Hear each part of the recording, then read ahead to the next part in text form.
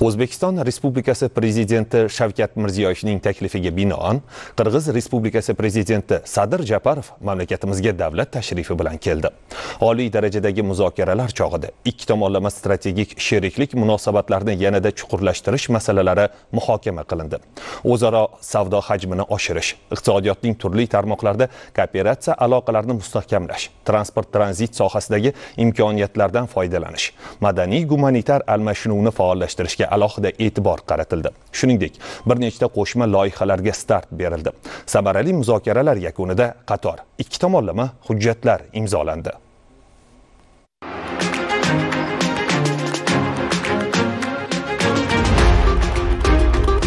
Yangi o'zbekiston tahlilchilarning fikricha tashqi siyosatda ochiq konstruktiv va pragmatik mamlakat. Qo'shnilar bilan eng qisqa vaqt ichida munosabatlarni to'liq qayta tiklashga erishgan kam sonli davlatlardan masalan qirg'iziston bilan. Tarixiy ildizlari tutashgan o'zbek va qirg'iz xalqlari azaldan bir biriga do'st qardosh bo'lib kelgan. To'g'ri. Yaqin tarixda bir muncha uzoqlashdik ammo mamlakatlarimiz yetakchilarining do'stligi bir biriga yuksak hurmati ichki va tashqi siyosatdagi yakdilligi bugun munosabatlarga yangi mazmun bag'ishlamoqda. So'nggi yillarda mamlakatlarimiz o'rtasidagi hamkorlik misli ko'rilmagan darajada yangi bosqichga ko'tarildi. Prezident shavkat mirziyoyevning 2017 yil sentyabr va 2023 yil yanvar oylarida qirg'izistonga davlat tashrifi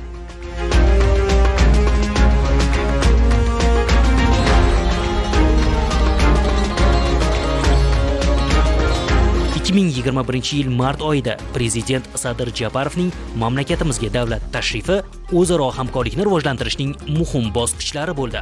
Bu tashriflar barcha darajadagi ko'p qirrali muloqotni rivojlantirishga kuchli turtki berdi. aloqalarning keng formatli platformasi yaratildi savdo iqtisodiyot fan turizm transport madaniyat va boshqa sohalarni qamrab olgan 250 ga yaqin hujjatlarni o'z ichiga oluvchi yirik hamkorlik paketi shakllandi so'nggi tarixiy voqelikni eslaymiz. Qirg'iziston 2023 yil yanvar oyida yetakchilar ikki tomonlama munosabatlarni sifat jihatidan yangi keng qamrovli strategik sheriklik darajasiga olib chiquvchi deklaratsiyaga imzo chekdilar. So'nggi yillarda davlatlarimiz qonun chiqaruvchi organlari o'rtasidagi hamkorlik sezilarli darajada faollashdi. 2017 yil sentyabr oyida oliy majlis senati va jokorgi kengashi o'rtasida parlamentlararo hamkorlik to'g'risida memorandum imzolandi. 2020 yil iyun oyida hamkorlik bo'yicha parlamentlararo komissiya tashkil etildi. Natijada parlament delegatsiyalarining o'zaro tashriflari faollashdi.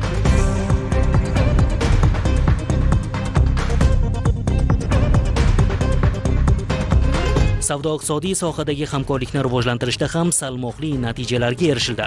Hukumatlararo komissiya savdo iqtisodiy va sarmoyaviy hamkorlikni izchil kengaytirish bo'yicha ish olib bormoqda. 2024 yil yanvar iyun oylarida mamlakatlarimiz o'rtasidagi tovar ayirboshlash hajmi 381,8 million dollarni tashkil etdi. Bugungi kunda o'zbekistonda qirg'iziston kapitali ishtirokidagi 267 ta korxona faoliyat ko'rsatmoqda. O'zbek ishbilarmonlarining sarmoyalari ishtirokida 70 ta korxona esa do'st mamlakatda faoliyat yuritadi. O'zbekiston qirg'iziston taraqqiyoti jamg'armasi 2022 yil aprel oyidan buyon faoliyat yuritib kelmoqda. Chegaradosh hududlar hokimlarining muntazam o'zaro tashriflari amalga oshirib kelinmoqda. 2018 yil dekabr oyida ishbilarmonlar kengashi tashkil etildi. Ushbu tuzilmalarning har biri ko'p qirrali hamkorlikni kengaytirish ustida izlanmoqda. Transport sohasidagi hamkorlik ham ikki mamlakat uchun strategik ahamiyat kasb etadi. Mamlakatlarimiz markaziy osiyo transport tizimini mustahkamlash va rivojlantirish bo'yicha birgalikda to'g'risidagi sa'y harakatlarni amalga oshirmoqda. Yirik transchegaraviy loyihalar hayotga tatbiq etilmoqda. Ulardan eng muhimi xitoy qirg'iziston o'zbekiston qo'shma temir yo'lining qurilishidir. Yana bir e'tirofga loyiq jihat bugungi kunda ikki mamlakatning chegaralarida ochiq masalaning o'zi qolmagan. Qirg'iziston va o'zbekiston o'rtasidagi davlat chegaralarini delimitatsiya va demarkatsiya qilish bo'yicha ham muhim kelishuvlarga erishildi. Sarhadlarimiz do'stlik va yaxshi qo'shnichilik chegaralariga aylandi. Ikki mamlakat rahbarlarining siyosiy irodasi bilan suv resurslarini boshqarish sohasida ham muhim kelishuvlarga erishildi. 2022 yilda suv resurslaridan oqilona foydalanishni ta'minlashga qaratilgan qo'shma suv xo'jaligi komissiyasi tashkil etildi. Bu mamlakatlar o'rtasidagi ishonchni mustahkamlashga va mintaqaning barqaror rivoj rivojlanishiga imkon berdi. So'nggi yillarda madaniy gumanitar sohasidagi hamkorlik mutlaqo yangi bosqichga ko'tarildi. Ilm fan ta'lim va madaniyat sohalarida ko'plab qo'shma loyihalar boshlandi. Sayyohlik almashinuvi kengaymoqda. Albatta bularning bari o'zbek va qirg'iz xalqlarining bir biri tomon tashlagan qadamlaridir. O'zaro hurmat birodarlikka asoslangan birgalikda barqaror rivojlanish fursati. Oliy martabali mehmonning yurtimizga bugungi tashrifi munosabatlar formatini yanada kengaytiradi. Demak voqealar xronologiyasiga to'xtalamiz.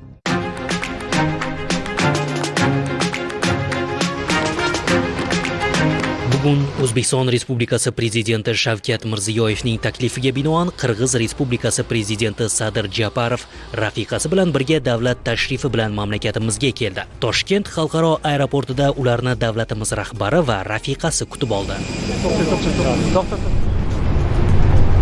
Oliy martabali mehmon sharafiga ikki mamlakat davlat bayroqlari ko'tarilib faxriy qorovul saf tortdi.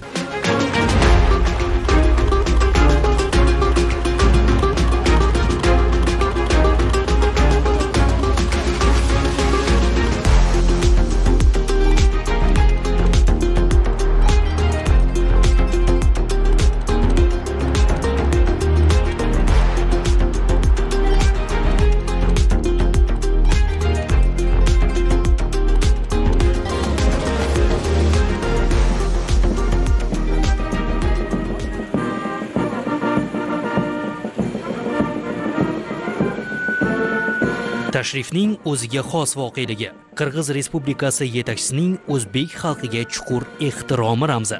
Prezident sadir japarov bosh vazir abdulla aripov hamrohligida yangi o'zbekiston bog'ida bo'ldi va mustaqillik monumenti poyiga gul qo'ydi.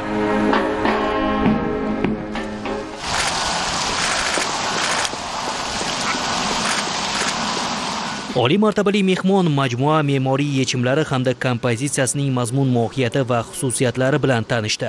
Majmua qirg'iziston delegatsiyasida katta taassurot qoldirdi. Ko'ksaroy qarorgohi qirg'iz respublikasi prezidenti sadir japarovni tantanali kutib olish marosimi. Qarorgoh oldidagi maydonda davlat bayroqlari ko'tarildi va faxriy qorovul saf tortdi.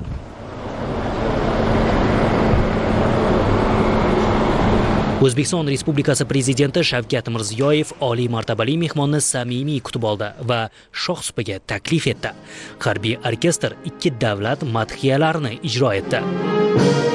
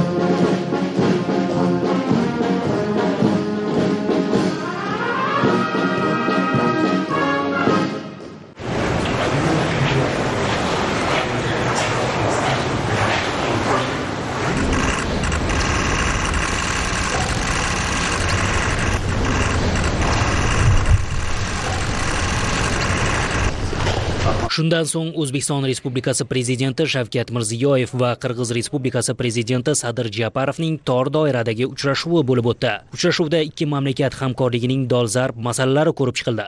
Suhbat avvalida davlatimiz rahbari oliy martabali mehmonni samimiy qutlar ekan keyingi yillarda birgalikdagi sa'y harakatlar tufayli uzoq muddatli istiqbolga mo'ljallangan ko'p qirrali hamkorlikni tubdan kengaytirish uchun yaxshi zamin yaratilganini alohida ta'kidladi. Ushbu tashrif doirasida keng qamrovli strategik strategik sheriklik munosabatlarini yanada chuqurlashtirish va kengaytirish to'g'risida qo'shma bayonot imzolanishi ikki tomonlama munosabatlarni yanada yuqori darajaga olib chiqishga o'zaro intilishdan dalolat bo'lishi qayd etildi. Parlamentlar hukumatlar tashqi siyosat va tarmoq idoralari darajasidagi muloqotlar natijadorligini oshirish xalqaro va mintaqaviy maydonlar jumladan birlashgan millatlar tashkiloti jahon savdo tashkiloti mintaqa davlatlari rahbarlarining maslahat uchrashuvlari markaziy osiyo plyus formatlari doirasida o'zaro qo'llab quvvatlashni davom ettirish zarurligi ta'kidlandi. Hamkorlikning yangi iqtisodiy kun tartibini shakllantirish muhimligi qayd etildi. Tovar ayirboshlash hajmini yaqin yillarda 2 milliard dollarga yetkazish bo'yicha kompleks chora tadbirlar mahsulotlar ishlab chiqish dolzarb ekani ko'rsatib o'tildi. Kuni kecha o'tgan biznes forumi muvaffaqiyatli bo'ldi. Yakunda yangi kelishuvlar to'plami qabul qilindi. Bu galgi tashrif doirasida qayta tiklanuvchi energiya manbalari avtomobilsozlik va to'qimachilik sohalarida kooperatsiya loyihalari ishga tushiriladi. Strategik ahamiyatga ega mintaqaviy loyihalarni jumladan xitoy qirg'iziston o'zbekiston temir yo'li va qambarota gez bir qurilishini tez fursatda amalga oshirish masalalariga ustuvor e'tibor qaratildi. Transport va energetika infratuzilmasini rivojlantirish bo'yicha yangi loyiha takliflari ko'rib chiqildi. Prezidentlar hududlararo hamkorlikni jumladan chegara oldi viloyatlar hokimlari kengashi doirasida yanada kengaytirish muhimligini ta'kidladilar. Shuningdek qishloq va suv xo'jaligi ekologiya xavfsizlik va boshqa sohalarda o'zaro manfaatli hamkorlikni rivojlantirish masalalari atroflicha muhokama qilindi. Madaniy gumanitar almashinuv faollashgani mamnuniyat bilan qayd etildi. Bu hafta mamlakatimizda qirg'iziston madaniyati kunlari o'tkazilmoqda. Kuni kecha samarqandda ikkinchi rektorlar forumi muvaffaqiyatli o'tkazildi. Tomonlar kelgusi yillarga mo'ljallangan madaniy tadbirlar taqvimini tayyorlashga kelishib oldilar. Davlat rahbarlari mintaqaviy kun tartibidagi tomonlarni qiziqtirgan masalalar yuzasidan ham fikr almashdilar. Prezident shavkat mirziyoyev va prezident sadir japarov muzokaralarni ikki mamlakat rasmiy delegatsiyalari ishtirokida kengaytirilgan tarkibda davom ettirdilar. Hurmatli sadir nurgajayevich hurmatli delegatsiya a'zolari avvalambor sizlarni yurtimizda samimiy qutlashdan xursandman va sadir nurgajayevni bu safargi tashriflari albatta tarixiy bo'ladi va bu tarixiy bo'lishiga biz juda katta tayyorgarlik ko'rganmiz. O'zbekiston zaminiga xush kelibsizlar. Bugungi tarixiy uchrashuvimiz o'zbekiston va qirg'iziston o'rtasidagi keng qamrovli strategik sherikligimizni kengaytirishga xizmat qiladi. Biz tor doirada hamma kelajakdagi muammolarni ham hal qildi. Kelishilgan hamma harakatlarimiz ikkita xalqni birlashtirish uchun ikki xalqni kelajagi tinchligi uchun xizmat qiladi va bunga biz asos yaratyapmiz va bu asosga qirg'iziston prezidenti hurmatli sadir nurgajayevni juda katta shaxsiy harakatlari bor. Man shu masala bo'yicha alohida minnatdorchilik bildirmoqchiman. Уважаемый Садар Нургаджаевич, я еще раз приветствую вас и членов киргизской делегации в нашей стране. Hurmatli Sadar Nurg'o'jayevich, sizni va qirg'iz delegatsiyasi a'zolarini yana bir bor olqishlayman. Sizlarni yurtimizda ko'rishdan mamnunmiz. Xush kelibsiz O'zbekistonga. Ishonchim komilki, bizning bugungi uchrashuvimiz qilingan ishlarni chuqur tahlil qilib, o'zaro manfaatli hamkorlikning yangi kun tartibi va istiqboliga oid barcha masalalarni ko'rib chiqish imkonini beradi. Hurmatli sadir nurg'ojiyevich sizni qirg'izistondagi bugungi barqaror iqtisodiy ijtimoiy rivojlanish bilan chin dildan qutlayman. Biz sadir nurg'ojiyevich boshchiligidagi qirg'iz birodarlarimizning yutuqlaridan xursandmiz. Mamlakatingizda jadal iqtisodiy o'sishga erishilyapti sanoat ishlab chiqarish hajmi ortmoqda aholining real daromadlari oshmoqda. Inflyatsiya darajasi samarali ushlab turilibdi. Muhim infratuzilmaviy va ijtimoiy loyihalar amalga oshirilmoqda. Asosiysi sizning siyosatingiz qardosh qirg'iz xalqi tomonidan keng qo'llab quvvatlanmoqda kengaytirilgan tarkibda delegatsiya a'zolari oldida shuni ta'kidlamoqchimanki o'zbekiston bundan keyin ham sizning islohotlar dasturingizni qo'llab-quvvatlaydi. Biz uchun kuchli gullab yashnayotgan qo'shni qirg'iziston kerak. Уважаемые члены делегации кыргызстан испытанный временем надежный партнер o'zbekistona hurmatli delegatsiya a'zolari qirg'iziston o'zbekistonning vaqt sinovidan o'tgan ishonchli hamkori.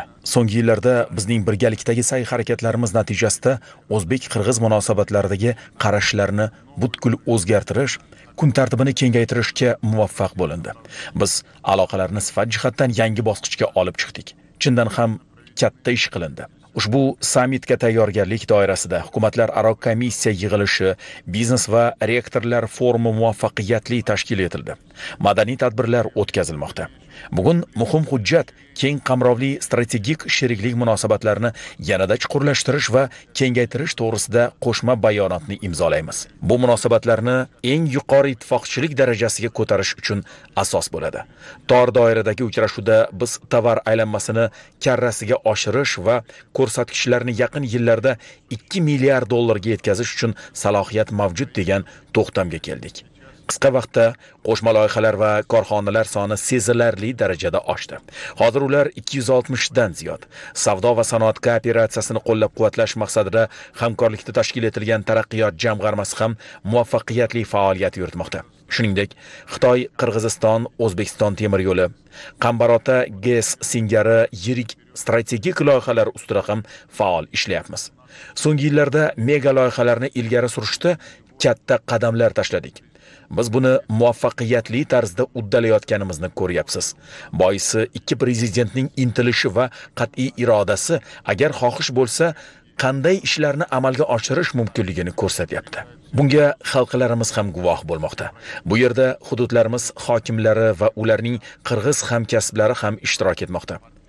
Ular to'g'ridan to'g'ri aloqalarni yo'lga qo'yib barcha masalalarni tezkorlik bilan hal etishmoqda qo'shma loyihalarni ilgari surmoqda. Bir raqamni keltiraman. Birgina so'nggi yilning o'zida andijon namangan va farg'ona viloyatlari tomonidan qirg'izistonning chegaradosh hududlari bilan hamkorlikda umumiy qiymati 600 million dollardan ziyod loyihalar portfeli shakllantirildi. Yil yakuniga qadar bu ko'rsatkich 1 milliard dollarga yetadi. Meni ayniqsa madaniy gumanitar almashuvlar faollashgani quvontirmoqda. Iyun oyida o'sh shahrida avlodlar muloqoti tadbiri tashkil etildi. Shu kunlarda o'zbekistonda qirg'iziston madaniyati kunlari ikki xalqni yanada yaqinlashtirishga xizmat qiladigan kino namoyishlar konsertlar spektakllar qo'yilib ijodiy uchrashuvlar tashkil etilmoqda. Muzokaralarimiz natijalari o'zbek qirg'iz do'stligi yaxshi qo'shnichilik va strategik hamkorlik munosabatlarini yanada mustahkamlashga xizmat qilishiga ishonchim komil. Mamnuniyat bilan so'z navbatini sizga beraman. Я с удовольствием хочу передать вам слово. Рахмат урматтуу шавкат миромонович урматтуу өзбек делегациясынын мүчөлөрү кереметтүү ташкент шаарына мамлекеттик сапар менен келүүгө чакырып бийик меймандостукту көрсөткөн урматтуу шавкат миромонович мухтарам шавкат миромонович hurmatli do'stlar hamkasblar. Avvalo muhtaram shavkat miromonovich sizga. Birodar o'zbekiston respublikasiga davlat tashrifi bilan kelishni taklif qilganingiz va betakror toshkent shahridagi yuqori darajadagi mehmondo'stlik uchun chuqur minnatdorlik bildiraman. Hozirgina o'tkazgan muzokaralarimiz samarali bo'ldi. Qirg'iz o'zbek hamkorligining aktual masalalarini shu paytgacha erishilgan kelishuvlarning ijrosidan tortib kelajakdagi yangi qo'shma rejalargacha muhokama qildik. Yana bir bor o'zbekiston bizning ishonchli qo'shnimiz va strategik hamkorimiz ekanini ta'kidlashni istardim. Qirg'iziston bundan keyin ham yaqin do'stona va yaxshi qo'shnichilik aloqalarini mustahkamlashga tayyor. Muhtaram shavkat miromonovich sizga o'sh viloyatining suv toshqinidan aziyat chekkan tumanida yashovchi qirg'izistonliklarga yetkazilgan insonparvarlik yordami uchun minnatdorlik bildiraman. Ishonchim komil. Bugun olib borgan muzokaralarimiz natijalari davlatlarimiz o'rtasidagi yaqin munosabatlar rivojiga yangi impuls beradi. Impuls поступательному развитию наших межгосударственных отношений. Уважаемый Шавхат Мирамонович, сегодня кыргызская республика и республика узбекистан. Hurmatli shavkat miromonovich bugun qirg'iz respublikasi va o'zbekiston respublikasi yaqin qo'shnilar sodiq do'stlar va strategik sheriklardir qisqa vaqt ichida biz ikki tomonlama munosabatlarni butunlay yangi bosqichga olib chiqib katta yutuqlarga erishdik davlat chegaralari masalalari hal etildi iqtisodiyot energetika transport gumanitar va boshqa sohalarda qo'shma loyihalar faol targ'ib qilinmoqda. Parlamentlar aro va mintaqalar aro hamkorlik ham jadal rivojlanmoqda. O'zbekiston bilan ko'p qirrali hamkorlikni mustahkamlash shubhasiz qirg'iziston tashqi siyosatining ustuvor yo'nalishidir. Bugungi tor doiradagi muzokaralar chog'ida ko'plab masalalarda hamfikr ekanligimizni namoyon qildik. Bu chinakam qardosh davlatlarga xos jihat bo'lib kelgusida ikki tomonlama munosabatlarni yanada chuqurlashtirish yo'nalishlarini belgilab oldik. Biz imzolagan keng qamrovli strategik sheriklikni chuqurlashtirish va kengaytirish to'g'risidagi qo'shma bayonot buning yaqqol tasdig'i. Hukumatlarimiz oldiga kelgusi yillarda o'zaro savdo hajmini ikki baravarga oshirish maqsadini qo'ydik va bunga erishish uchun tegishli ishlarni amalga oshirishga kelishib oldik. Для достижения этой цели. Нашими правительствами продолжается активная работа по реализации достигнутых. Hukumatlarimiz o'rtasida erishilgan o'zaro kelishuvlarni hayotga tatbiq etish bo'yicha faol ishlar olib borilyapti. Yirik investitsiyaviy, transport va energetika loyihalari izchil amalga oshirilmoqda. Ikki davlat o'rtasidagi hukumatlar aro munosabatlar Vazirlar Mahkamasi rahbarlari Oqilbek Usinbekovich hamda Abdulla Nigmatovichning shaxsiy muvofiqlashtiruvi ostida hamisha o'zining faolligi va hamfikrligi egaligi bilan ajralib kelgan. Ikki mamlakat chegara hududlari hamkorlik kengashi esa mintaqalarimiz o'rtasidagi hamkorlikni yanada rivojlantirishga qaratilgan. Biz o'zbekiston bilan chegarani demarkatsiya qilish jarayonini imkon qadar tezroq yakunlash hamda munosabatlarimizni ittifoqchilik darajasiga olib chiqishdan manfaatdormiz. O'tgan yil yanvar oyida qirg'izistonga amalga oshirgan davlat tashrifingiz chog'ida oliy davlat kengashini tuzish to'g'risida kelishib olgandik. Ishonchim komil yaqin kelajakda ushbu kengashning tashkil etilishi mamlakatlarimiz o'rtasidagi siyosiy muloqotning barqaror va dinamik xarakterini mustahkamlaydi. Shu nuqtai nazardan parlamentlar aro hamkorlik optimallashtirilganini mamnuniyat bilan qayd etaman. Iyun oyida jo'qorg'i kenges va oliy majlis o'rtasidagi hamkorlik bo'yicha parlamentlar aro komissiyaning to'rtinchi majlisi bo'lib o'tdi. E'tiboringiz uchun rahmat между Жогорку кеңешем и Олий мажилисом Спасибо за внимание. Muzokaralar davomida tomonlar parlamentlar hukumatlar vazirliklar idoralar va hududlar ishbilarmonlar ekspertlar va jamoatchilik darajasida faol aloqalarni davom ettirishga kelishib oldilar. Davlatlararo kengash tuzishga qaror qilindi. Xalqaro va mintaqaviy tuzilmalar jumladan birlashgan millatlar tashkiloti shanxay hamkorlik tashkiloti turkiy davlatlar tashkiloti markaziy osiyo davlatlari rahbarlarining maslahat uchrashuvi va boshqa ko'p tomonlama maydonlar doirasida yaqin hamkorlikni davom ettirish zarurligi ta'kidlandi. Tovar ayirboshlash hajmini ko'paytirish eng avvalo import o'rnini bosish dasturlari va kooperatsiya loyihalarini qo'llab-quvvatlash bo'yicha aniq chora-tadbirlar muhokama qilindi. Shu maqsadda tashrif davomida o'zaro savdo hajmini oshirishga qaratilgan dastur qabul qilinmoqda. Bundan tashqari yaqin yillarda 2 milliard dollar ko'rsatkichiga chiqish uchun poytaxtlarda savdo uylari tashkil etiladi. Eksport-import shartnomalari to'plami shakllantiriladi. Eksport oldi moliyalashtirish vositalari joriy etiladi. Qishloq xo'jaligi va chorvachilik mahsulotlarini tezkor tashish bo'yicha yashil yo'lak ishga tushiriladi. Sanoat kooperatsiyasi operatsiyasi doirasidagi joriy loyihalar portfeli 300 million dollarga yetgani ta'kidlandi. Kuni kecha bo'lib o'tgan biznes forumi doirasida energetika logistika elektrotexnika to'qimachilik agrosanoat va boshqa tarmoqlarda savdo shartnomalari va investitsiya bitimlarining yangi to'plami qabul qilindi. Bunday loyihalarni ilgari surish uchun o'zbekiston qirg'iziston jamg'armasining ustav kapitali 200 million dollargacha oshiriladi. Energetika sohasidagi hamkorlik strategik yo'nalish etib belgilandi. Qambarota ges bir qurilishi bo'yicha bitimni tez fursatda imzolash va loyihaning amaliy bosqichini boshlash muhimligi qayd etildi. Shuningdek ikki mamlakat salohiyatini hisobga olgan holda kichik gidroenergetikani rivojlantirish bo'yicha kompleks hamkorlik dasturi tayyorlanadi. Mintaqada transport bog'liqligini mustahkamlash bo'yicha birgalikdagi sa'y harakatlarni faollashtirish zarurligi ta'kidlandi. Xitoy qirg'iziston o'zbekiston temir yo'lini qurish bo'yicha strategik loyiha to'g'risidagi uch tomonlama bitim imzolangani bu borada tarixiy voqea bo'ldi. Uchrashuvda istiqbolli transport loyihalari ham ko'rib chiqildi. Ikki mamlakat hududlari savdo iqtisodiy hamkorlikning haqiqiy drayverlari ekani ta'kidlandi. Shu ma'noda bosh vazirlar raisligidagi chegara oldi viloyatlar hokimlari kengashi doirasida faol aloqalarni davom ettirishga kelishib olindi. Hududlar delegatsiyalarining o'zaro tashriflari jadvalini tayyorlash va qo'shma yo'l xaritalarini yangilashga qishloq xo'jaligi ekinlarini birgalikda yetishtirish intensiv bog'lar va agro klasterlar tashkil etishni nazarda tutuvchi agro kooperatsiya dasturini amalga oshirishga kelishib olindi. Madaniyat yoshlar turizm ta'lim fan va sport sohalarida faol almashinuvlar davom ettiriladi. Shu ma'noda tashrif arafasida samarqandda o'zbekiston va qirg'iziston oliy ta'lim muassasalari rektorlarining ikkinchi forumi muvaffaqiyatli o'tkazilgani mamnuniyat bilan qayd etildi. Kelgusi yillarga mo'ljallangan madaniy tadbirlar taqvimini tayyorlashga kelishib olindi. Yig'ilishda bosh vazirlar o'rinbosarlarining hisobotlari va savdo iqtisodiy hamkorlik yuzasidan aniq takliflari tinglandi. Muzokaralar yakunida davlat rahbarlari qo'shma yo'l xaritasini tayyorlash va erishilgan kelishuvlarni samarali amalga oshirish mexanizmlarini yo'lga qo'yish bo'yicha topshiriq berdilar. Shundan so'ng o'zbekiston respublikasi prezidenti shavkat mirziyoyev va qirg'iz respublikasi prezidenti sadir japarov yirik kooperatsiya loyihalarini ishga tushirish marosimida ishtirok etdilar. Jumladan farg'ona va namangan viloyatlarida umumiy quvvati 400 megavat bo'lgan ikkita quyosh elektr stansiyasi qurilishiga start berildi. Ushbu stansiyalarda ishlab chiqariladigan elektr energiyasi qirg'izistonga yetkazib berilishi ko'zda tutilgan. Chuy viloyatida zamonaviy yengil avtomobillar va tijorat texnikalari ishlab chiqarish zavodi ishga tushirildi. Xususan u yerda cobalt Onix, trekker rusumli yengil hamda yuk avtomobillari yig'iladi. Shuningdek qorabalta shahrida tikuv trikotaj mahsulotlari va mato ishlab chiqarish yo'lga qo'yildi. Korxonaga zamonaviy texnologik uskunalar yetkazib berilib o'rnatildi. O'zbekiston va qirg'iziston prezidentlari ushbu loyihalar mamlakatlarimiz o'rtasidagi o'zaro manfaatli hamkorlikni kengaytirishga xizmat qilishiga ishonch bildirdilar.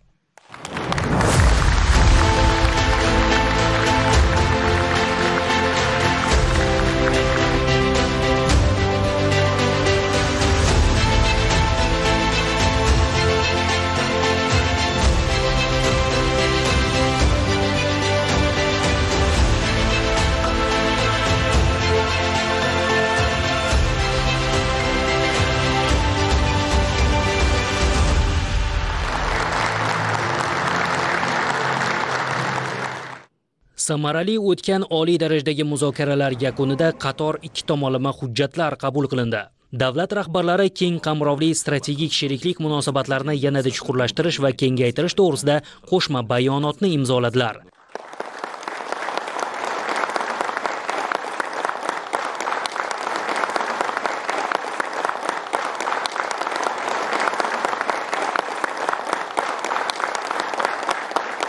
Tashrif davomida 16 ta hujjat imzolandi. Jumladan qirg'iz respublikasining issiqko'l viloyati hududida joylashgan kurort hordiq xo'jaligi obyektlari bo'yicha hukumatlararo bitim.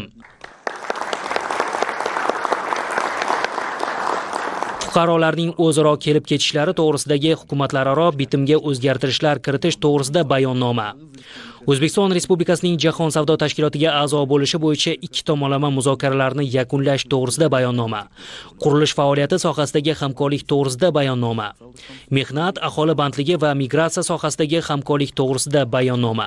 Madaniyat va san'at sohasidagi hamkorlik to'g'risida bayonnoma.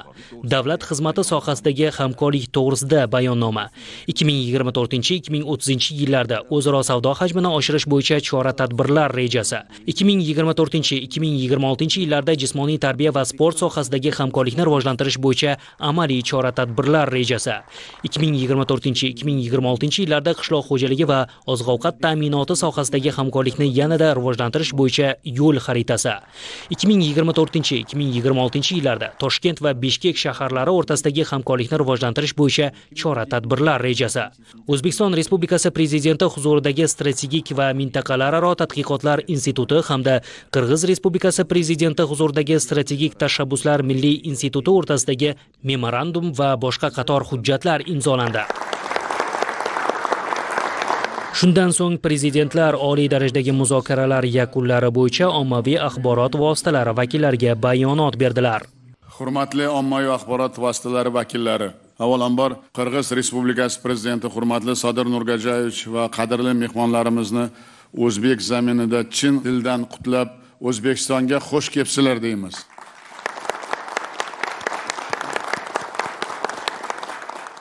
So'nggi yillarda o'zbekiston qirg'iziston munosabatlarida katta o'zgarishlar amalga oshirilib mutlaqo yangi muhit yaratildi.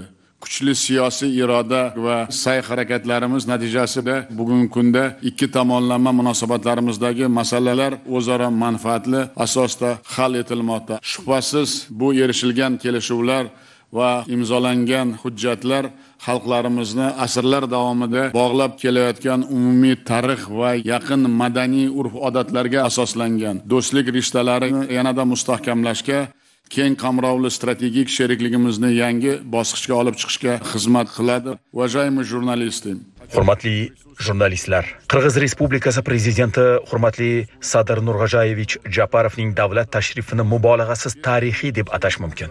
Bizda yechimi yo'q masalalar qolmadi. Bu ikki prezidentning g'alabasi. Это большая победа двух президентов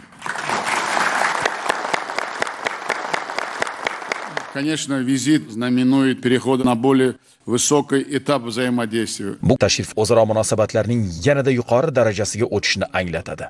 Bu galgi uchrashuvga birgalikda jiddiy tayyorgarlik ishlari olib borildi. Bu esa muzokaralarning muvaffaqiyatiga xizmat qildi. Hukumatlararo komissiyaning navbatdagi yig'ilishi, biznes forum, rektorlar forumi, avlodlar muloqoti samarali o'tdi. Shu kunlarda mamlakatimiz hududlarida O'zbekistonda Qirg'iziston madaniyati kunlari doirasida madaniy tadbirlar muvaffaqiyatli o'tkazilmoqda. Avvalo shuni alohida ta'kidlashni istardimki, biz O'zbekistonda hurmatli Sadir Nurg'ojoyevich rahbarligidagi Qirg'izistonning barqaror ijtimoiy iqtisodiy rivojlanishidan chin dildan xursandmiz. Mamlakat eng murakkab vazifalarni samarali hal etib, dadil olg'a bormoqda. Iqtisodiyot, sanoat ishlab chiqarish hajmi va aholining real daromadlari jadal o'sishi ta'minlamoqda. Infratuzilma loyihalari amalga oshirilmoqda. O'zbekiston bundan buyon ham Qirg'izistonda kuchli va farovon davlat barpo etishga qaratilgan islohotlar dasturini har tomonlama qo'llab-quvvatlashini alohida ta'kidlamoqchiman. Hurmatli ommaviy axborot vositalari vakillari, Qirg'iziston bizning eng yaqin qo'shnimiz, O'zbekistonning vaqt sinovidan o'tgan ishonchli hamkori. Bizni chuqur tarixiy ildizlarimiz va ko'p asrlik do'stligimiz bog'lab turadi. Dinimiz, qadriyatlarimiz va an'analarimiz mushtarak. Bugun muzokaralar chog'ida qadrdon do'stim, hurmatli Sadir Nurg'ojoyevich bilan ko'p qirrali munosabatlarimizning barcha dolzarb masalalarini diqqat bilan ko'rib chiqdik. Biz qardosh mamlakatlarimiz va xalqlarimizni yanada yaqinlashtirishga qat'iy bel bog'laganmiz. Yaqin siyosiy muloqotni rivojlantirish va parlamentlar, hukumatlar, tashqi siyosat idoralari, tarmoq vazirliklari, hududlar, ishbilarmon va jamoatchilik doiralari darajasida faol aloqalarni davom ettirishga kelishib oldik. Bugun keng qamrovli strategik sheriklik munosabatlarini yanada chuqurlashtirish va kengaytirish to'g'risida qo'shma bayonot imzolandi. Bu munosabatlarimizni ittifoqchilik darajasiga olib chiqish uchun jiddiy asosdir. Davlat rahbarlari raisligidagi davlatlararo kengash tuzishga kelishib oldik. Muloqotni yanada chuqurlashtiramiz va Birlashgan Millatlar Tashkiloti, Shanxay hamkorlik tashkiloti, Mustaqil davlatlar hamdo'stligi, Turkiy davlatlar tashkiloti, Markaziy Osiyo davlatlari rahbarlarining maslahat uchrashuvlari va boshqa formatlar doirasidagi tashabbuslarni qo'llab-quvvatlaymiz. Biz O'zbekiston Qirg'iziston hamkorligining yangi keng qamrovli iqtisodiy kun tartibini shakllantirish muhimligini ta'kidladik. Bugun o'zaro savdo hajmini oshirish dasturi qabul qilindi. Bundan tashqari poytaxtlarda savdo uylari tashkil etiladi. Yaqin yillarda 2 milliard dollarlik ko'rsatkichga erishish uchun uzoq muddatli eksport-import shartnomalari portfeli tayyorlanadi. Eksportni qo'llab-quvvatlash va sertifikatlarni tan olish vositalarini joriy qilamiz. Meva, sabzavot va chorvachilik mahsulotlari uchun yashil yo'lakni ishga tushiramiz.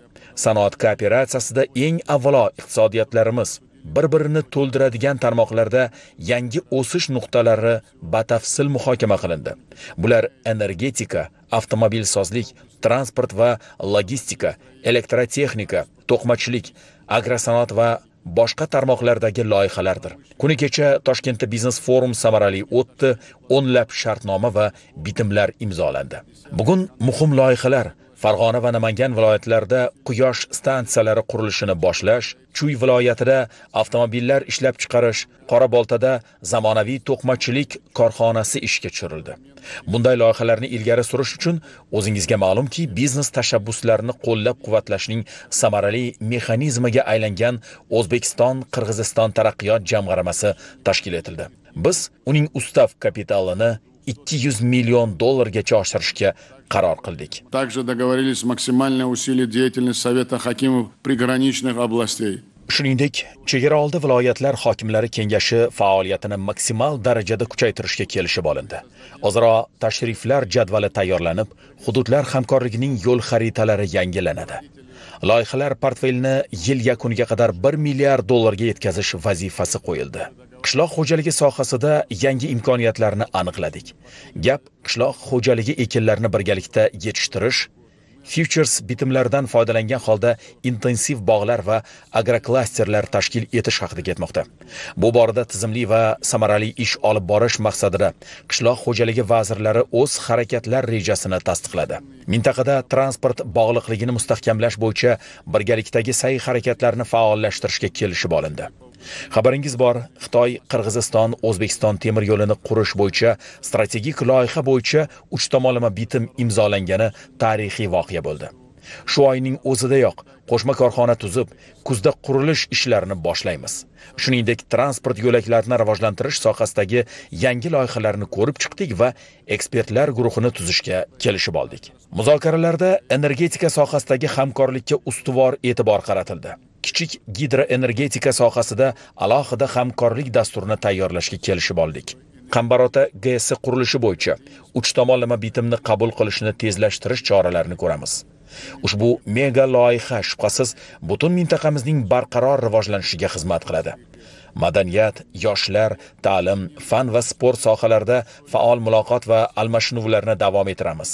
Turizm almashinuvini ko'paytirish imkoniyatlarini alohida ta'kidlamoqchiman. Ayni paytda toshkentdan bishkek va tomchiga to'g'ridan to'g'ri aviaqatnovlar yo'lga qo'yilgan. O'zbekistonning issiqko'ldagi sanatoriy kurort komplekslari faoliyati to'g'risida bitim imzolandi. Iyul oyi boshida biz uchta obyektni ishga tushirdik. Ular allaqachon mehmonlarni qabul qilmoqda. Turizm infratuzilmasini rivojlantirish bo'yicha yangi loyihalar ishlab chiqilmoqda.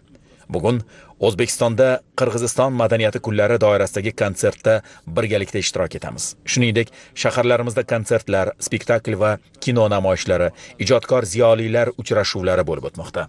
Madaniy tadbirlarni muntazam o'tkazish bo'yicha ikki yilga mo'ljallangan qo'shma kalendar tayyorlashga kelishib oldik. Ishonchim komilki bu qardosh xalqlarimizni yanada yaqinlashtirishga xizmat qiladi. Bu galgi sammit arafasida samarqandda ikkinchi rektorlar forumi muvaffaqiyatli o'tkazilib o'ttizga yaqin bitim imzolandi. Kelishuvlarni amalga oshirish maqsadida vazirlar yo'l xaritasini tasdiqlaydi. Umuman samarali muzokaralar yakunida o'zaro hamkorlikning muhim yo'nalishlarida salmoqli bitimlar to'plamini imzoladik. Eng muhimi bu mamlakatlarimiz va xalqlarimiz farovonligi yo'lida xizmat qiladigan qat'iy kelishuv va bitimlardir. Qadrli do'stlar ochiq va sermahsul muzokaralarimiz natijalaridan g'oyat mamnun ekanimni ta'kidlamoqchiman. Siz hurmatli Sadr Nurg'ojeyevichga qat'iy yondashuvingiz va barcha takliflarimizni qo'llab-quvvatlaganingiz uchun samimiy minnatdorlik bildirmoqchiman. Sizning O'zbekistonga tarixiy tashrifingizning samarali yakunlari hamkorlikni aniq mazmun bilan boyitishga, O'zbekiston bilan Qirg'iziston o'rtasidagi do'stlik, yaxshi qo'shnichilik va strategik sheriklik munosabatlarini mustahkamlashga xizmat qilishiga ishonaman. E'tiboringiz uchun tashakkur. Благодарю за внимание. С удовольствием передаю слово президенту Кыргызстана. Мархамат. Рахмат, Румат Тушафхан Мирамонович, Айымдар Жана Мырзалар. Бүгін Бордош Өзбекстан Республикасының президенті Урматту Шафхат Мирамоновичтің шақырусы менен Өзбекстан Республикасына мамлекеттик сапарым өтүп жатат. Учурдан пайдаланып, мага жана кыргыз делегациясына көрсөтүлүп жаткан жылуу меймандостук үчүн кымбаттуу кесиптешиме урматтуу Шафхат Мирамонович сизге жана бүткүл өзбек элине терең ыраазычылыгымды билдиремин уважаемый шавкат миромонович дамы и господа muhtaram shavkat miromonovich hurmatli xonimlar va janoblar yuz yillar mobaynida qirg'izlar va o'zbeklar do'stona va qardosh rishtalar birlashtirib turgan birodar xalqlar bo'lib kelgan.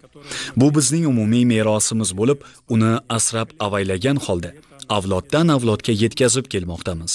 Bu meros avlodlarimiz tomonidan qadrlanishi lozim. Birgalikdagi sa'y harakatlarimiz tufayli o'tgan qisqa vaqt ichida ikki tomonlama munosabatlarimizni butunlay yangi bosqichga keng qamrovli strategik hamkorlikka olib chiqdik. Chegara masalasi konstruktiv hal qilindi. Savdo iqtisodiyot energetika transport gumanitar va boshqa sohalarda qo'shma loyihalar amalga oshirilmoqda. Hukumatlar aro va parlamentlar aro aloqalar jadallashmoqda. Bizning bugungi muloqotlarimiz doimgidek do'stona iliq muhit ishchan va konstruktiv ruhda o'tdi. O'zbekiston respublikasi prezidenti muhtaram shavkat miromonovich mening qadrdon do'stim bilan siyosiy iqtisodiy investitsiyaviy madaniy gumanitar masalalarni keng doirada atroflicha ko'rib chiqdik. Kelgusi hamkorlikni mustahkamlash va rivojlantirishga hamda ikki tomon kun tartibida turgan alohida masalalar yechimini topishga qaratilgan konkret kelishuvlarga erishildi. Bugungi muzokaralardagi asosiy jihat keng qamrovli strategik sheriklik munosabatlarini yanada chuqurlashtirish va kengaytirish to'g'risida qo'shma bayonotning imzolanishi bo'ldi. Iqtisodiyot savdo investitsiya va qishloq xo'jaligi sohalarida kooperatsiyani chuqurlashtirishga asosiy e'tibor qaratildi. Savdo iqtisodiy sohada ijobiy dinamika qayd etilmoqda. O'zaro savdo hajmining yil sayin izchil o'sib borayotganini mamnuniyat bilan qayd etaman. Biz o'zbekiston bilan ikki tomonlama tovar aylanmasini 2 milliard aqsh dollariga yetkazishni maqsad qilganmiz va buning uchun barcha choralarni ko'rishga tayyormiz. Kuni kecha 17 iyul kuni vitse prezident raisligida va davlatlarimiz biznes doiralari vakillari ishtirokida qirg'iziston o'zbekiston biznes forumi muvaffaqiyatli o'tkazildi. Barcha qirg'iz o'zbek qo'shma rejalari va sarmoyaviy loyihalar ketma ket realizatsiya qilinyapti. Biz ularning yaxshi borayotgani birgalikda ishimiz natijasini ko'rib turibmiz. Мы уже видим хорошие сдвиги и результаты нашей совместной работы запуск при нашем вместе с уважаемым Шавхатом Миромоновичем.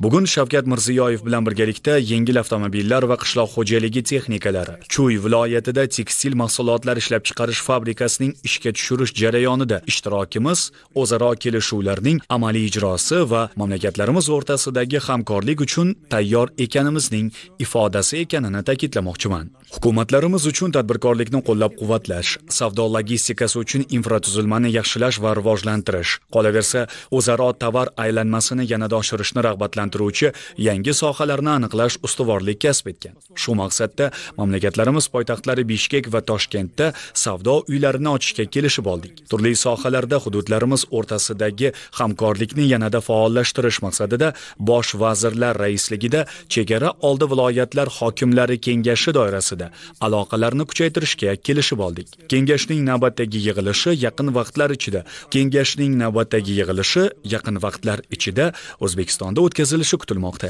Transport kommunikatsiya sohasidagi qo'shma loyihalar, mintaqadagi suv resurslaridan birgalikda oqilona foydalanish masalalarini ham ko'rib chiqdik. Hamkorlikdagi Qamborota GES 1 va Chotqol daryosidagi GESni amalga oshirish bo'yicha ham kelishib oldik. Transport sohasida ham davlatlararo Daroy Qo'rg'on, Uchqo'rg'on, Chotqol Toshkent yo'nalishida transport koridorlarini shakllantirishda hamjihat ishlaymiz. Ishlaymiz. Biz qisqa fursatda strategik jihatdan nafaqat mamlakatlarimiz o'rtasidagi munosabatlar balki butun mintaqamiz uchun ham muhim bo'lgan xitoy qirg'iziston o'zbekiston temir yo'li loyihasining amaliy bosqichga o'tish zarurligini qayd etdik. Farg'ona viloyatining so'x tumani shuningdek shohimardon cho'ng'ara aholi yashash punktlarida istiqomat qiluvchi o'zbekiston fuqarolariga qulaylik yaratish ikki mamlakat fuqarolarining erkin harakatlanishini ta'minlash maqsadida hukumatlar aro kelishuvga ba'zi o'zgartirishlarni kiritdik. Endi ushbu toifaga kiruvchi o'zbekiston fuqarolari botken viloyatining qadamjoy tumanidan tranzit orqali cheklanmagan muddatga kirib chiqishlari mumkin bo'ladi. Biz shuningdek madaniyat ta'lim fan sport turizm sohalarida ham hamkorlikni kengaytirish choralarini ko'rishga ahdlashib oldik. O'zaro madaniy almashinuvlar do'stona rishtalarini mustahkamlash xalqlarimiz o'rtasidagi anglashuvni oshirishga xizmat qiladi. 14 15 iyun kunlari O'sh shahrida ikki mamlakat oqsoqollari, ziyolilar va yoshlarni faol jalb etgan holda avlodlar muloqoti muvaffaqiyatli o'tkazildi. Shu haftada O'zbekistonning turli hududlarida Qirg'iziston madaniyat kunlari bo'lib o'tmoqda. Bugun biz hurmatli Shavkat Miromonovich bilan ushbu tadbirlarning ochilish marosimida ishtirok etamiz. На торжественной церемонии их открытия Мы высоко оценили итоги второго форума ректоров высших учебных заведений Кыргызстана. Biz mening tashrifim arafasida bo'lib o'tgan O'zbekiston Qirg'iziston ikkinchi oliy ta'lim muassasalari rektorlari forumi natijalarini yuqori baholadik. Ulkan salohiyat kuzatilayotgan turizm sohasidagi hamkorlikni rivojlantirishga alohida e'tibor qaratdik. O'zbekiston Qirg'izistonga kelayotgan xorijiy fuqarolar soni bo'yicha birinchi o'rinni egallaydi. 2023-yilda ularning soni taxminan taxminan 1,5 million kishini tashkil etdi. Ishonchim komilki, joriy yil ham ushbu ko'rsatkich biz kutganimizdan ziyoda bo'ladi. Qo'shma turistik mahsulotlar yaratish maqsadida Qirg'iziston va O'zbekistonning diqqatga sazovor manzillarini o'z ichiga oluvchi sayyohlik yo'nalishlari loyihalari ishlab chiqilgan. Bugungi kunda Toshkent, Tomchi, Toshkent yo'nalishida muntazam aviaqatnovlar yo'lga qo'yilgani quvonarli. Shuningdek, biz noyob butun mavsum ishlaydigan kompleks turizm loyihasi Chotqol Shimoli resort kurortini barpo etish bo'yicha takliflarimizni muhokama qildik. Amirsoy tog' chang'i majmuasi chegara yaqinida joylashganini inobatga olib, bunday investitsion loyihalarni amalga oshirish ikki davlat o'rtasida turizm industriyasi va sport salohiyatini rivojlantirishga turtki bo'lishiga ishonaman. Qadrli do'stlar, biz shuningdek mintaqaviy va xalqaro kun tartibidagi dolzarb masalalar yuzasidan atroflicha fikr almashdik. Ko'pgina xalqaro masalalar bo'yicha pozitsiyalarimiz bir xil va bir biriga yaqin. Qirg'iz tomoni o'zbekiston respublikasining jahon savdo tashkilotiga kirishini qo'llab quvvatlaydi tomonlar muzokaralar jarayonlarini muvaffaqiyatli yakunladi va biz qardosh o'zbekistonning jahon savdo tashkilotiga tezroq a'zo bo'lishi uchun har tomonlama ko'maklashamiz. Tomonlarning mintaqada va undan tashqarida barqarorlik va xavfsizlikni saqlash bo'yicha sa'y harakatlarni birlashtirish majburiyatini qayd etish quvonarli. Xulosa o'rnida ishonch bildirmoqchimanki bugun erishilgan kelishuvlar hukumatlarimiz tomonidan aniq natijalarga aylantiriladi va ko'p qirrali qirg'iz o'zbek hamkorligining yaqin va uzoq muddatli istiqbollariga mo'ljallangan rejalarni amaliy amalga oshirish uchun barchasi tayyor. Bugun biz munosabatlarimizdagi ijobiy o'zgarishlarni mustahkamlab ularni strategik sheriklikka muvofiq yangi sifat mazmuni bilan to'ldirishga muvaffaq bo'ldik. Muhtaram shavkat miromonovichga va barcha o'zbekistonlik do'stlarimizga birgalikdagi samarali faoliyat uchun yana bir bor minnatdorchilik bildirmoqchiman. E'tiboringiz uchun rahmat. Хочу еще раз выразить признательность уважаемому Шавкату Миромоновичу и всем нашим узбекским друзьям за совместную плодотворную работу. Спасибо за внимание. mazkur oliy darajadagi tashrif ana shunday muhim kelishuvlarga boy bo'ldi bu o'z navbatida ikki davlat munosabatlarini sifat jihatidan yangi bosqichga olib chiqishi bilan g'oyat ahamiyatlidir Мы подписали э, ряд документов. Biz qator kelishuvlarni imzoladik. Ulardan biri o'zaro strategik hamkorlikni har tomonlama chuqurlashtirish bilan bog'liq. Mazkur hujjat aloqalarimizning qay darajada ekanligi va istiqbollarini belgilab beradi. Bundan tashqari iqtisodiyot, turizm, madaniyat va huquqni muhofaza qilish yo'nalishlarida qator hukumatlar aro va idoralar aro bitimlar imzolandi. Ushbu kelishuvlar davlat tuzilmalari o'rtasidagi hamkorlikni osonlashtiradi. Eng muhimi, biz fuqarolarimizga chegarani kesib o'tib tadbirkorlik faoliyati faoliyatlarini kengaytirishlari uchun zamin yaratib bermoqdamiz. Bugun imzolangan hujjatlar O'zbekiston va Qirg'iziston xalqlari manfaatlariga xizmat qiladi. Сегодняшние э, документы, они отвечают реальным интересам Кыргызстана и Узбекистана, особенно э, простого населения. Mana bor, keyingi mana 6-7 yilda Qirg'iziston bilan munosabatlarimiz juda yaxshilandi. Bunda hurmatli prezidentimiz tashabbusi deb o'ylaymiz. Birinchi navbatda hozir bizlar ikkita tomonda ham bir xil muammolarimiz bor. Ya'ni Qirg'izistonda ham O'zbekistonda. Bular suv muammosi, ekologiya muammosi, oziq-ovqat xavfsizligi, transport bilan bog'liq ya'ni logistika muammolari. Mana shu yo'nalishlar bo'yicha biz hamkorlik qilishga kelishib oldik. Ya'ni hozirgi kunda o'ttizga yaqin universitetlari e, o'zbekistondagi oliy ta'lim masalalari bilan muloqot o'rnatishgan. Buni ikki kun oldin samarqand shahrida qirg'izistondan kelgan o'ttizdan ortiq universitet rektorlari bilan o'zbekiston rektorlari o'rtasida forum bo'lib o'tdi. Bu yerda muhokama platformasi bo'lib xizmat qildida va kelajakda biza talabalarimiz almashinuv dasturini yo'lga qo'ymoqchimiz. Bundan tashqari professor o'qituvchilarni stajirovkalarini hamda ilmiy tadqiqot ishlarini hamkorlikda bajarish ikkita mamlakatni oldida turgan muammolar yechimi bo'yicha biz e, o'zbekiston tomonidan o'zimiz bitta fond ajratamiz. Ular ham shu ilmiy tadqiqotlar uchun fond ajratadi va kelajakda ishchi guruhlar olimlar guruhlari shakllantirilib keyin ularni biz moliyalashtiramiz va muammolarga qaratilgan yechimlarni biz kelajakda shu o'zbekistonda qirg'izistonda joriy etamiz Наши взаимоотношения, я могу сказать, очень отличные.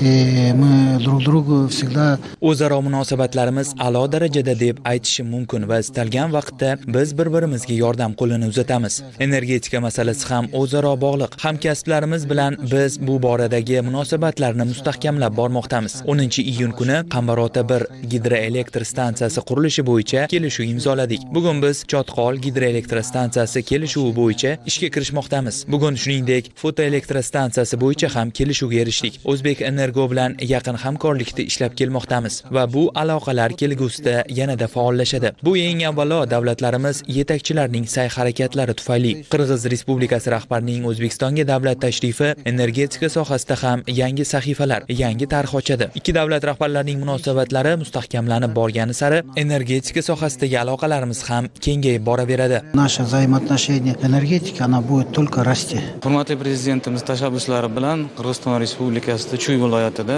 avtomobilsozlikka yo'naltirilgan avtomobillarni ishlab chiqarish qo'shma loyihasi amalga oshirildi va bugun tashrif jarayonida hammamiz shu korxonani ishga tushirish marosimida qatnashdik. Umuman loyihani haqida gapiradigan bo'lsak avvalambor bu korxonada e, chevrolet rusumli onix tracker va cobalt avtomobillari bundan tashqari isuzu rusumli yuk texnikalari maxsus texnikalari va avtobuslarni ishlab chiqarishga yo'naltirilgan. Umumiy qiymati o'n mingta avtomobil yiliga ishlab chiqarishga mo'ljallangan. Bundan tashqari hozir gapirgan raqamlar bu birinchi bosqich. Kelajakda planlarimiz katta. Sababi e, bu nafaqat yirik uzelli ishlab chiqarish balki e, ishlab chiqarish jarayonlarini chuqurlashtirish lokalizatsiya masalasi mahalliy sanoat korxonalari bilan ishlash bundan tashqari servis tizimini garantiya tizimini rivojlantirishga ham yo'naltirilgan. Qolaversa ishchilarni va injener kadrlarni malakasini oshirish masalasi bo'yicha ham biz qirg'iziston hamkorlari bilan kelishganmiz. Umuman aytadigan bo'lsak potensial oxirigacha hali ishlatilmagan va albatta bu korxona mashinasozlik yo'nalishida o'zbekiston va qirg'iziston davlatlarini orasida e, hamkorligiga yangi bir turtki bo'ladi va hamkorlikni chuqurlashtirish bo'yicha hurmatli prezidentimizni topshiriqlarini albatta bajaramiz. Boshqa rusumli avtomobillarga ham ehtiyoj bo'lsa biz albatta uni kengaytiramiz. Balkim kelajakda kattaroq mashinalarni ham yig'ish masalasi e, ko'zda tutiladi. Bu birinchisi. Ikkinchi yo'nalishi mana yuk texnika bo'yicha gapiradigan bo'lsak bu maxsus texnikani ishlab chiqarishni ko'lami va yo'nalishlari juda katta. Bu shahardagi kommunal xo'jalik bo'ladimi yoki maxsus ishlab chiqarish texnikalari bo'ladimi? Avvalambor bozorga nima ma'qul keladigan bo'lsa shunga qarab uni nomenklaturasini ham kengaytirish ko'zda tutilgan. Вчера мы проводили бизнес форум kuni kecha biz biznes forum o'tkazdik. Biz bilan yuzdan ortiq ishbilarmonlar tashrif buyurdi. O'zbek tomonidan ham yuzdan ziyod biznes doira vakillari ishtirok etdi. Ikki million dollardan ortiq qiymatga teng bo'lgan kelishuv va bitimlar imzolandi o'zbekiston va qirg'iziston o'rtasida ishbilarmonlik sohasida ham munosabatlarimiz izchillik bilan rivojlanib bormoqda. Prezidentlarimizning qo'llab quvvatlovi bilan biznesda dinamik o'sish kuzatilmoqda. Imzolangan kelishuv va bitimlar esa bu munosabatlarni huquqiy jihatdan mustahkamlamoqda. Hurmatli prezidentimizni tashabbuslari bilan e, qirg'iziston respublikasi bilan o'zaro savdo iqtisodiy munosabatlarimiz yildan yilga rivojlanib boryapti. Birinchidan chegaralarni ochilishi viloyatimizni qirg'iziston bilan e, to'rt yuz yetmish bir kilometr e, chegarasi bor va ikkita post bugungi kunda ishlab turibdi. Prezidentimiz qarorlariga asosan uchqo'rg'on tumanidagi kensay uchqo'rg'on E, bojxona postini birinchi sentyabrga ochish bo'yicha jadal ishlar ketyapti. Bu viloyatimizni eksport salohiyatiga juda yam katta yordam beradi. Bu yil e, o'tgan yili biz o'ttiz besh million dollar e, eksport amaliyotlarini bajargan bo'lsak bu yil yuz millionga olib chiqish bo'yicha ishlayapmiz bundan tashqari qirg'iziston bilan bir yuz sakson olti million dollarlik investitsion paketlarimiz bor. Bu turizm obyektlari ishlab chiqarish obyektlari va mevani qayta ishlash loyihalarimiz bor. Shu loyihalarda ishlayapmiz shuningdek jalolobod viloyatini olabo'qa tumanida bizni namangan viloyatining kosonsoy tumani chegarasida qoramollar logistika markazi ochdik. Arzon go'sht mahsulotlarini e, qoramollarni olib kirishga bizga ko'p yordam beryapti. Bu ham bo'lsa mana shu qirg'iziston o'zbekiston e, davlatlari o'rtasidagi imzolangan yo'l xaritalari asosida amalga oshirildi. Bunday loyihalarni amalga oshirilishini davom ettiriladi. Hozir mana e, start berish marosimida namangan viloyati chust tumanida uch yuz megavatli yangi quyosh elektr stansiyasini qurish e, ishlariga start berdi. Bu ham chust tumanida yangi ish o'rni yaratish bo'yicha yangi imkoniyatni ochib beradi. За последние три года идет динамичное сотрудничество. So'nggi 3 yilda Qirg'iz Respublikasi va O'zbekiston o'rtasidagi munosabatlar tez sur'atlarda rivojlanmoqda. Asosiy maqsad o'zaro hamkorligimizni yanada kengaytirish, mehnat, migratsiya sohalarida va ijtimoiy masalalarda, shuningdek fuqarolarimizni huquqlarini ta'minlash borasida o'zaro tajriba almashishdan iborat. Bizga ma'lumki, mehnat sohasida O'zbekistonda ko'plab islohotlar amalga oshirilmoqda. Yangi mehnat kodeksi qabul qilindi. Albatta biz uchun ushbu yo'nalishda ham tajriba almashish muhim. В этом ключе тоже нам э, очень важен обмен э, опытом. Динамика взаимоотношений по всем направлениям, она очень хорошая, интенсивная. barcha yo'nalishlar bo'yicha hamkorligimiz dinamikasi yuqorilab borayotganini ko'rishimiz mumkin. So'nggi yillarda munosabatlar yangi bosqichga ko'tarildi. Ikki tomonlama aloqalarning rivojlanishida qirg'iz respublikasi prezidentining o'zbekistonga tashrifi ham alohida ahamiyatga ega. Bu nafaqat mavjud munosabatlarni mustahkamlashda balki istiqboldagi hamkorlikning start olishida ham muhim. Adliya sohasida mamlakatingizning adliya vaziri bilan do'stona munosabatlar o'rnatilgan bo'lib samarali hamkorlik uchun normativ huquqiy baza ham yangilandi. Yil boshida onlayn formatda hujjatlarni imzolashga erishdik. Bunda bitim va hamkorlik dasturi bosqichlari kelishib olindi. Tabiiyki biz qonunchilik jihatdan boshqa sohalarning rivojida o'z hissamizni qo'shishga harakat qilamiz.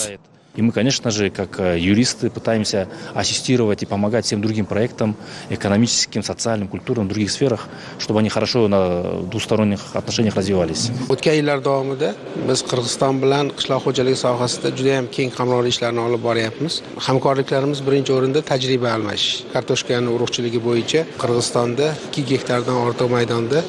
Shu mikro tuganaklar in vitroda yaratilgan mikro tuganak urug'larni ko'paytirish ishlari amalga oshiryapmiz guruchni ikki navini e, qirg'izistonda sinov ishlarini o'tkazyapmiz. Tashrif davomida keng qamrovli yana kelishuvlarga erishdik. Demak e, qirg'izistonda bilasizlar yer xususiy.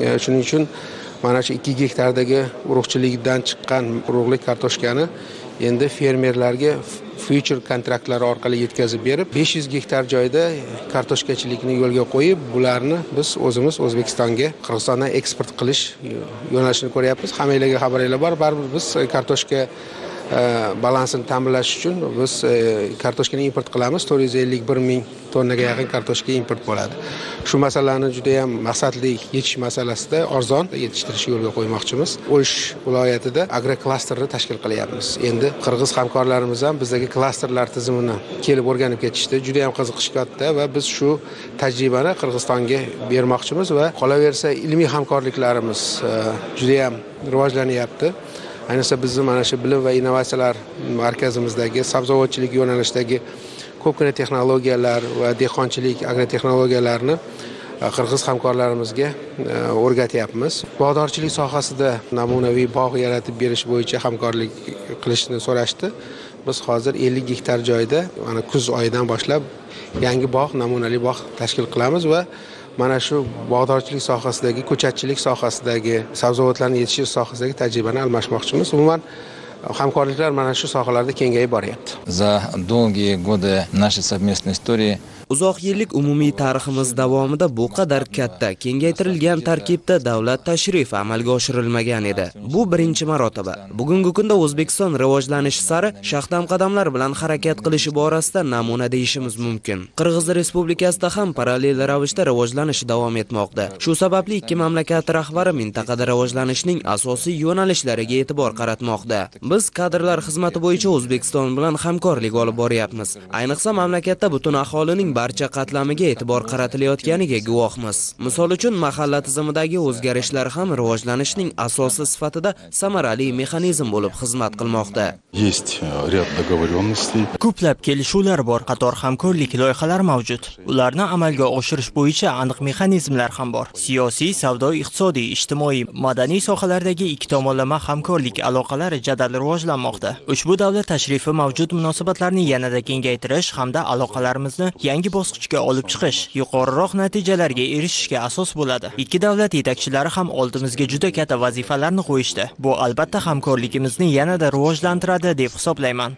Это даст еще больше плодов.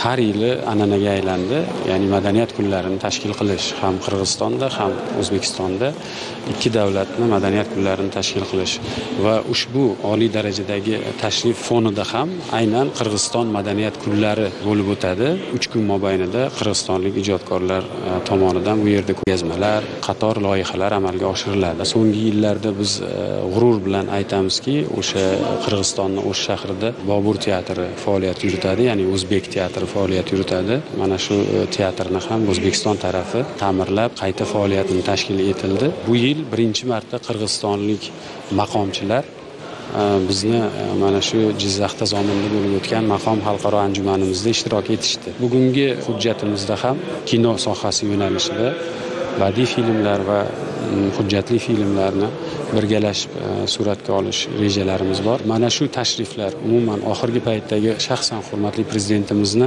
sa'y harakatlari aynan biz uchun barcha eshiklarni ochib beryapti. Va har qanday eng yuqori darajalarda hamkorlik qilishga bizga imkon beryapti.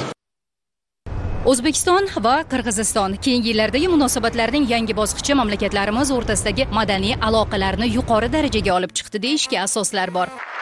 O'zbek va qirg'iz san'at ustalari ishtirokidagi qo'shma konsert dasturi. Bu madaniy tadbir yuksak martabali mehmon tashrifi doirasidagi eng yorqin sahnalardan biri bo'ldi. O'zbekiston prezidenti shavkat mirziyoyev va qirg'iziston prezidenti sadir japarov rafiqalari bilan birga o'zbekistonda qirg'iziston madaniyati kunlari boshlanishiga bag'ishlangan konsertda ishtirok etdilar. Ikki mamlakat san'at ustalarining ushbu konserti chuqur tarixiy ildizlar bilan bog'langan dini bir qadriyat va an'analari mushtarak o'zbek va qirg'iz xalqlarining ko'p asrlik do'stligi ifodasi bo'ldi. O'zbekiston va qirg'iziston yetakchilarining irodasi sa'y harakatlari tufayli qardosh xalqlar yanada yaqinlashdi. Bugungi kunda o'zbekistonda uch yuz mingdan ortiq qirg'izlar istiqomat qilsa qirg'izistondagi o'zbeklar jamoasi bir millionga yaqin kishini tashkil etadi. Shubhasiz ularning hayotida madaniy ma'naviy almashinuvga ehtiyoj bor. Shundan kelib chiqib so'nggi yillarda mamlakatlarimiz o'rtasida muntazam ravishda madaniyat kunlari festivallar va ko'plab madaniy tadbirlar o'tkazib kelinmoqda. Ikki tomonlama munosabatlardagi o'zgarishlar? Ayniqsa atoqli yozuvchi chingiz aytmatovning to'qson to'qson besh yillik tavallud tadbirlarida yaqqol ko'zga tashlandi. Bizga ma'lum ko'p yillardan beri mana shunday tadbirlar obyektiv sabablarga o'tkazilmay kelar edi. Mana shu muhtaram prezidentimiz shavkat miromonovich mirziyoyevning e, qirg'iziston prezidenti sadir nurxo'ja japarovning uzoqni ko'zlab do'stona munosabatlari natijasida mana bugungi kunda ikki respublika o'rtasida shunday madaniy kunlar mana bo'lib o'tyapti. Mustaqillik boshini davrini ham ko'rganmiz o'rta davrini ham mana hozirgi davrni ham. Lekin bugungiday siyosat bu juda bir katta bir tarixiy voqea bo'ldi desam adashmayman. Chunki mana shu bugun kelgan konsertga kelgan mana shu qirg'iziston e, xalq artistlari qirg'iziston xizmat artistlari o'zbekiston xalq artistlari birgalikda bo'lgan mana qo'shma konserti bu juda bir katta tarixiy voqea bo'ldi. Kelgan mana bizni faollarimiz fuqarolarimiz milliy madaniyat markazi faollari bizlar hammamiz ko'rdikki bu juda katta natija beradi. Ertaga buni orqasida turgan millionlab xalqlarimiz rozi bo'ladi. Mana ko'rib ayni jahonda ko'rsa ham aytadi barakalla prezidentlarimizga. Mana shunday ishlarni amalga oshirdi deb bu juda bir katta xalq orasida katta bir shov shuv aylanadi. Ikki ming o'n yettinchi yildan prezidentimiz ilk kunlardanoq bitta gapni aytgan edi. Biz yaqin qo'shni davlatlar bilan faqat do'st do'st do'st bo'lamiz. Boshqa niyatimiz ham yo'q degan mana shu niyat bugun amalga oshdi biz mana shu o'zimizda yashayotgan qirg'iz millati vakillari qirg'iz fuqarolari o'zbekiston xalqlari bilan mana shunday do'stona birgalikda yashaganimizdan biz minnatdormiz chunki bizga hamma sharoit yaratilgan. Do'stlik kechasi buyuk mutafakkirlar haqidagi millat yuzlari nomli teatrlashtirilgan kompozitsiya bilan davom etdi. Iste'dodli san'atkorlar ijro etgan kuy qo'shiqlarda xalqlarimiz madaniyatining boyligi o'ziga xosligi va shu bilan birga mushtarakligi o'z ifodasini topdi. Ayniqsa qomus va dutorda ijro etilgan do'stlik taronasini butun zal qarsaklar bilan qarshi oldi.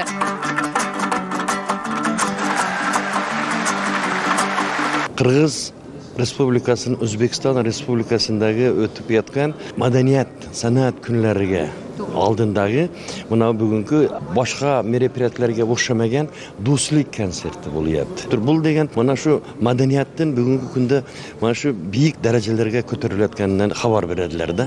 Shuning uchun men e, minnatdorman e, O'z- e, o'zbekiston mamlakati rahbarlarini birgalikda tashkil etilgan konsert dasturi birdamlikning yana bir yaqqol namunasidir. Kechaning hayajonli nuqtalaridan biri bu jon o'zbekiston qo'shig'ining qirg'iz xonandasi tomonidan yangragani bo'ldi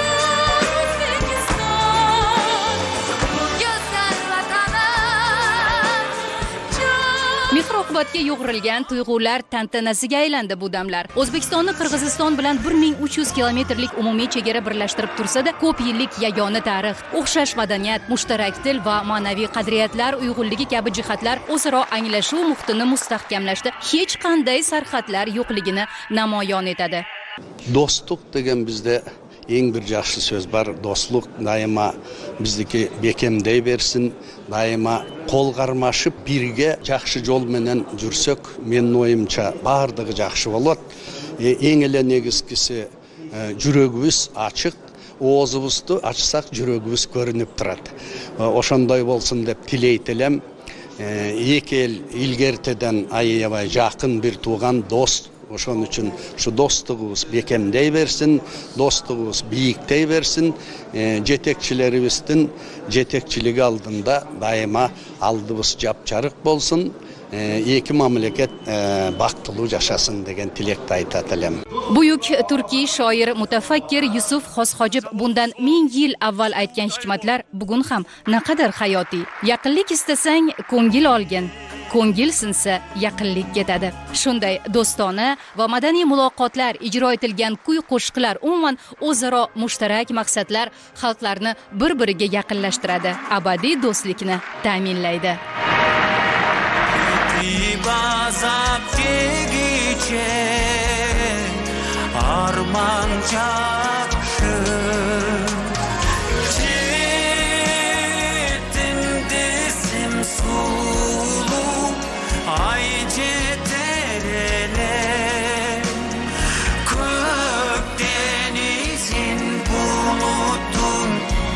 hayke çerele Kok denizin